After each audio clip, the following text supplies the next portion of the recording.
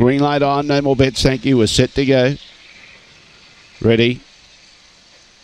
Away. Approval missed the kick. Favourite began well. Bally Celtic uh, going up there towards the lead and looking really hard to beat. Chiaro Dreams trying to match it and trying to go with it. Then Classy Tulip behind those. Favourite getting away even though she's tracking wide. Back behind those was Approval. I was here.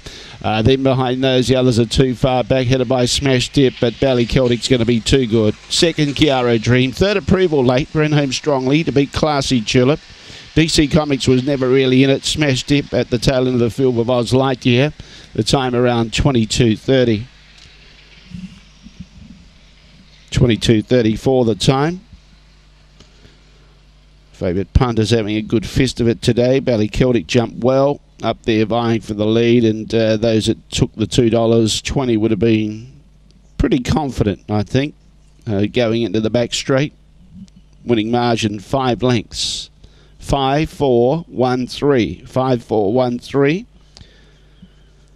Five lengths by one and three quarters the margins. Five lengths by one and three quarters 10 0 5 the early split the run home 12 29 12 29 got out to two dollars 10 on the tote and a dollar 80 for the place